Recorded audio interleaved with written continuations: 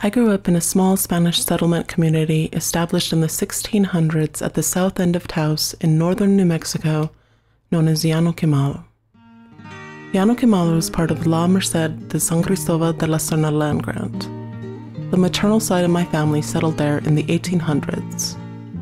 The Mondragones were a small farming people whose culture was embedded in the agrarian traditions of the region some of my fondest memories are of my childhood growing up around my grandparents, family, relatives, and neighbors. It was a tight knit family structure that revolved around the basic chores of tending the land, harvesting the crops, and maintaining our religious and spiritual traditions. After graduating from high school, I worked for 10 years at various jobs, and then I began my undergraduate studies at the University of New Mexico my undergraduate application letter of intent to the University of New Mexico School of Architecture and Planning Admission Committee read as follows My childhood experiences, plastering mud onto the hornos and making adobes with my grandmother, gave me the foundation for building. Adobe construction created my family home from the dirt that I sifted, the straw that I shredded, the water that I mixed, and the brick that I formed. Old traditions and a vision for future environmental development inspire me to become an architect. I eventually earned my undergraduate degree in architecture in 2009 and graduated with a master's in architecture in the spring of 2011. During my last semester in school, I worked on an independent study project with School of Architecture and Planning research scholar Levi Romero as part of UNM Taos's Instituto de Agua y Culturas oral history and documentation study of acequias in the Upper Rio Grande watershed. I approached the independent study project with checklists, timelines, and an academic attitude forged from my years as a student of architecture. Hoping to figure out where I was going to begin with this study, I Googled Llano Quemado plus acequia. And to my surprise, the result came back with a video on YouTube Cleaning La Acequia Francisco de Martinez. It was a video posted by the Taos News from 2007. La Acequia de Francisco Martinez is the ditch that serves my family's property, and the mayordomo of the ditch in the video is my Tio Juan. The video was a shocking surprise. After 15 years living away from Llano, studying the world's architecture, contemporary building design methodologies, and developing skills to analyze the built environment, I was now immersed in documenting the history, people, and cultural traditions of my own village. Maps, surveys, and other data were being offered to me by my relatives from their own collections. The surveys included information on various acequias with names that were as historically and geographically significant as they were poetic. La acequia de abajo, la acequia de la loma, acequia del medio, La Acequia Madre, Acequia Lucero, and of course, La Acequia del Finado Francisco Martinez. I felt confident in my research and oral history work, but as I delved deeper into the project, I found that the Llano I had left behind was no longer what I remembered, and that the study of the acequias was taking me far below the surface of graphs and charts portraying the land that has sustained my family for centuries. My independent study filled me with an unexpected emotion that came with each encounter that I had with a long lost relative.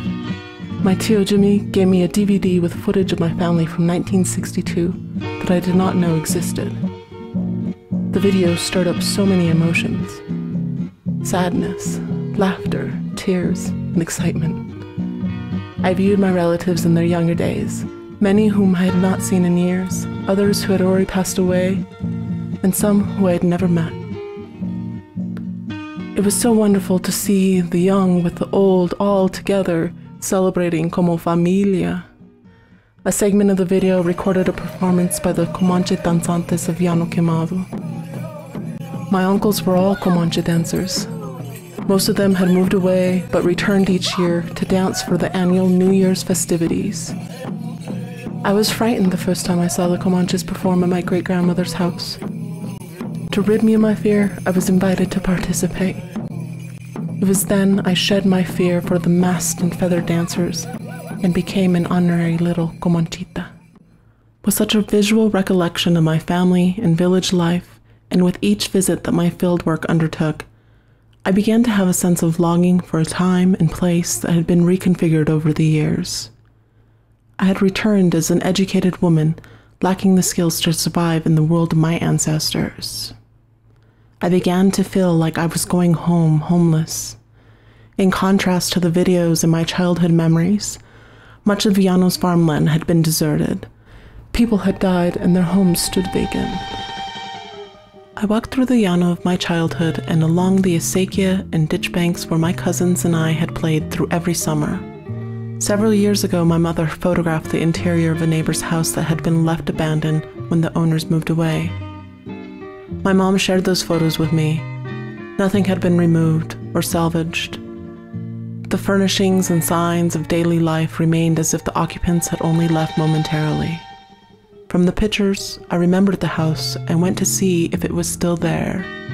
The only remnants of the house were the crumbled walls and collapsed roof structure. I went to visit my grandmother's house. She no longer lives there. My own grandmother's house, with signs of her last activities before she was placed in a living center for Alzheimer's patients, jolted me. I felt nervous and ashamed for entering her home.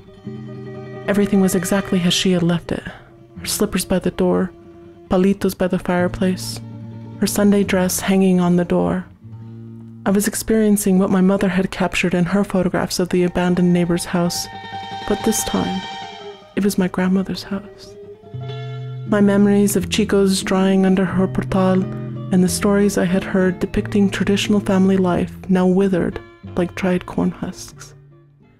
I stood in her living room, numb and wordless, without a language to express my grief. As a child, I spent most of my time at my grandmother's it was she who taught me how to survive. From her, I learned where to find and pick pululu, garambullos, manzana, arbacoque, sour cherries, capulin, plums, pinon, and the list goes on. I learned how to pick corn, hang it to dry on the portal, and roast it in the horno to make chicos to be dried and stored.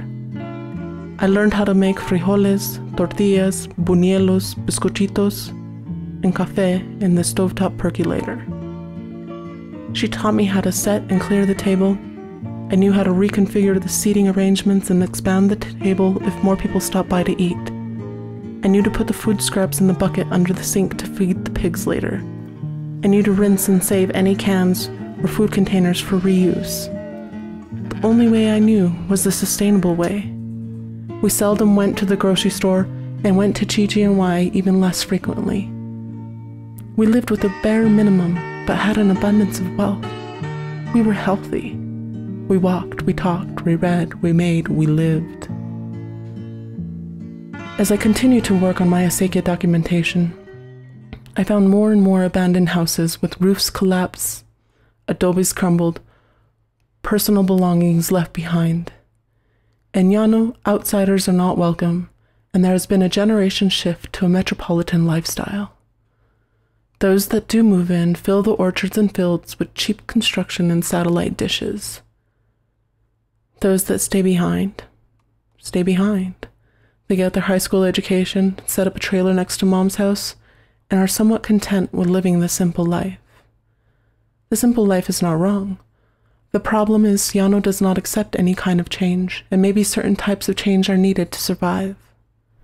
My study of La Acequia del Finado Francisco Martinez has brought me back home. It has taught me that it is I who is responsible for the maintenance and upkeep of traditions. I want to teach my children how to grow corn, roast chicos, play in the mud, and watch the sky move over the mountains, annotating the importance of agriculture and nature.